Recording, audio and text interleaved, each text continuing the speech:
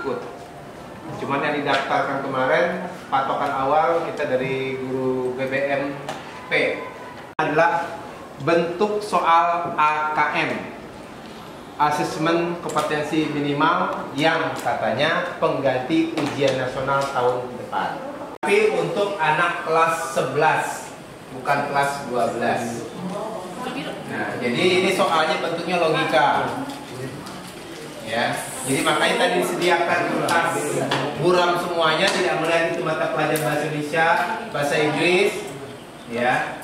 Nah, jadi kalau nanti ada wacana satu halaman penuh, baca. Ya, mungkin bahasa Indonesia gampang, tapi yang matematik udah puyeng melihatnya. Ya. Assalamualaikum warahmatullahi wabarakatuh.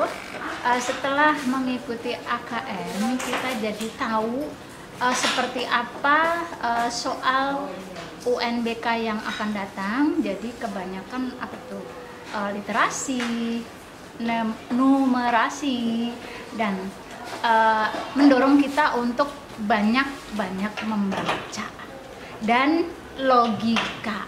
Jadi sekarang harus pakai logika gitu. Oke, terima kasih. Assalamualaikum warahmatullahi wabarakatuh.